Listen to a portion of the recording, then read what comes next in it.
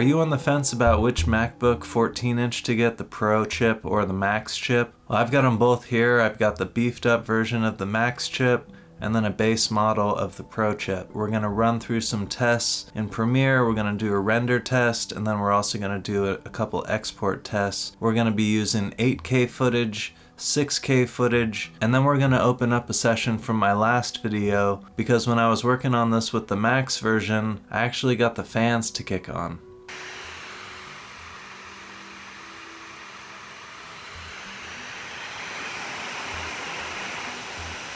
And let me tell you, those fans were really loud, and so that was a huge red flag for me. Let's see at the end of the video if we can recreate that, get these fans to kick on, and see what's going on with these.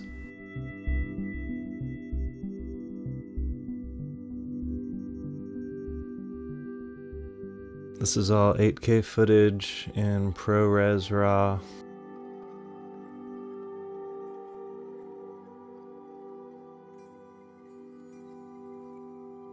So we have a few 8K clips loaded up. Let's just do a render test.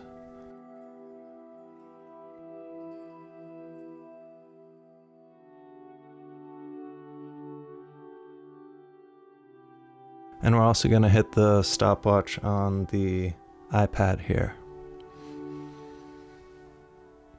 So here we go.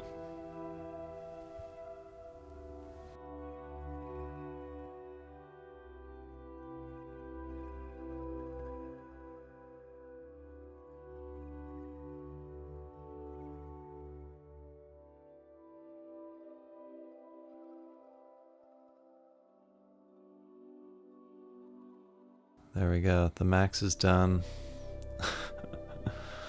the base model still at 50, oh, 60. Here we go. It's finally catching up.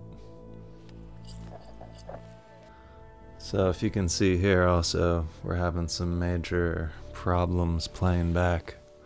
While the max looks really nice. Let's play them both at the same time.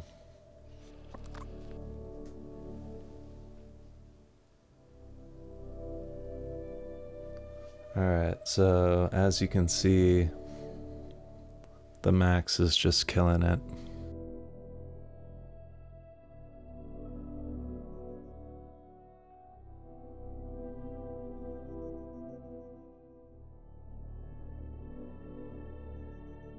But definitely no problem for the max. And it's having so many problems it can't even play at the correct frame rate. So in render and playback, the max definitely wins. I mean, look at that. It's super smooth, no problem. So let's give the space model a chance to redeem itself and do some exports. Why don't we do Apple ProRes 422 as our first test? And then our second one we'll try a uh, 4K YouTube preset that I use most of the time. Okay, so we're both set at Apple ProRes 422 high quality. And I'm not even gonna mess around with the media encoder, I'm just gonna export straight from Premiere. So we're both set at QuickTime Apple ProRes 422, base model, max model. So far the max is about to lap the base model, but we'll see what happens here. So off we go, hit the timer.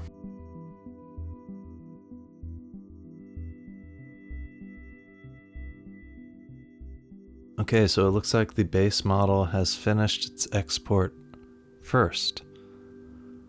And the max is still chugging away.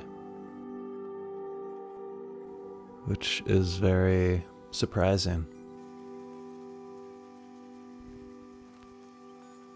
Alright, this is very confusing. I'm not sure why the max is just chunking along.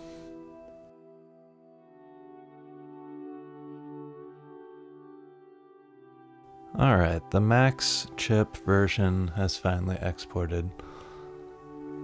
And it took a lot longer, so let's just double check that our sequences are the same. Everything is the same. Yep. Yep, yep. So why why the heck would $1500 more be even slower than the base model? Let's do another export test. Maybe it just didn't like ProRes RAW or ProRes 422. Let's do our old favorite, the YouTube custom export. I'm just going to export straight from Premiere again. And off we go. M1 Pro is like in Premiere a little more. This might be a lot different in DaVinci or a program that's optimized for these new chips. When you install any of the Adobe stuff on these new MacBooks, you get a notification that, you know, this is optimized for Intel chips. So just give them some time and uh, they'll get there eventually and that'll probably give us a bump up in speed. But for now, it's not looking so great.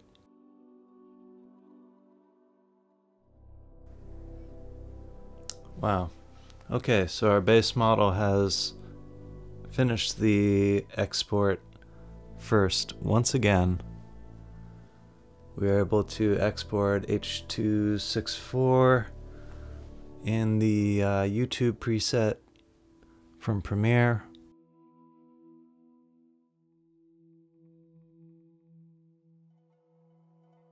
Our max chip is still encoding, still rendering. It's crazy. I totally thought it was going to be the opposite way around.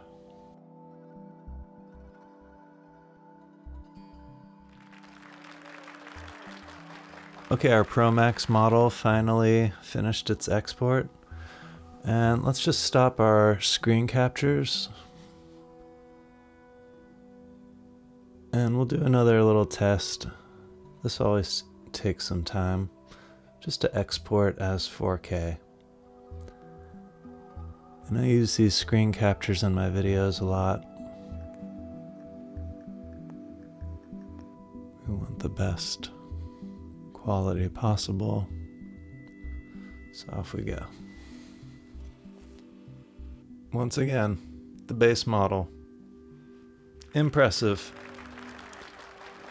So the cheaper base model with just a, another upgrade for CPU and GPU, it keeps beating the, the max chip. Very impressive. So let's get another new project. We'll try the 6K footage. Maybe that is gonna do something.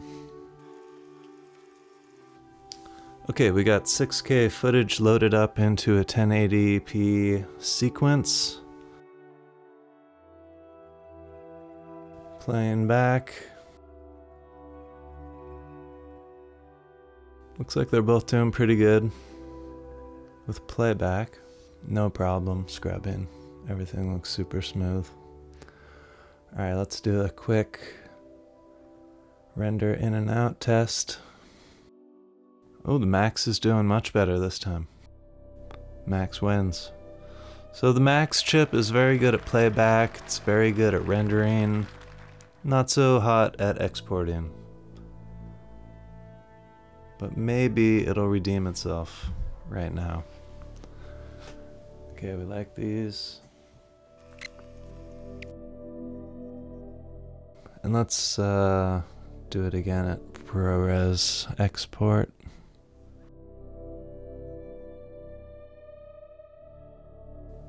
High quality. And we're just going to export straight from Premiere again. Alright, off they go. My money's on the base model.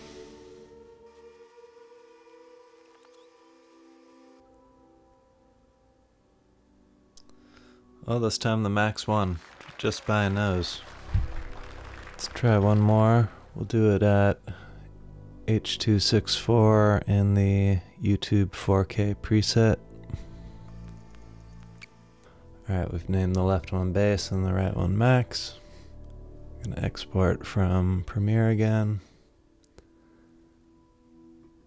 And off we go. Alright, wow. So the max chip this time blew the base model out of the water. It must really like H.264. Not quite sure what was going on with that 8K footage. Alright, and our base model just finished up. So, very interesting. Overall, looks like the Max chip definitely plays back everything a lot smoother. But, like every computer acts a little funny sometimes due to different codecs and whatever you're working with. But the more you use this thing, you really find your workflow and you find what works for you. And I'm sure once you find what that weird thing was going on, or if you don't if you don't have to worry about 8K footage and you saw that the 6K was just blasting. So I just loaded up my most recent video which was on the AirPods and we're just gonna see what's faster for exporting a real world scenario type session. And we're to do this in H.264 in the YouTube 4K. Export again. And we'll just export from Premiere once again.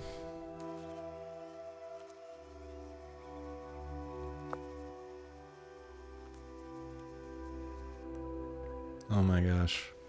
The fans are kicking in on the max. So we're almost done with this export and the fans are starting to kick on in the max once again. Let me just get this microphone down there. You can see.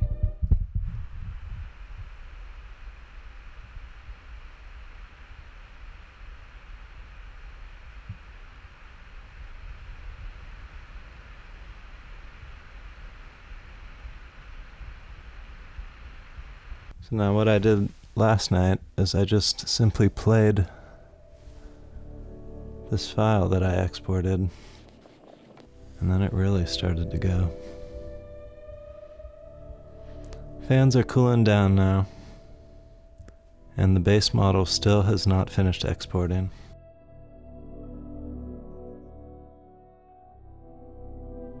But still a little interesting that a simple export like this would uh, get those fans to kick on. And we're still waiting for the base model. Okay, and our base model just finished. The base model has not kicked its fans on yet. I have not heard the fans from the base yet. But let me know what you guys have found if you've been testing your MacBook 14s what were you doing when your fans kicked on? Let, let us know down below so we can all be aware of these uh, weird little things going on. And also so we know where to spend our hard earned money. If $1,500 for the max upgrade is worth it, or if you could just stick around in the base model. It really depends on what type of workflow, what, ty what type of workload you're using. I hope this helped give you some insight to the Pro and the Max chip, and I'll see you at the next one.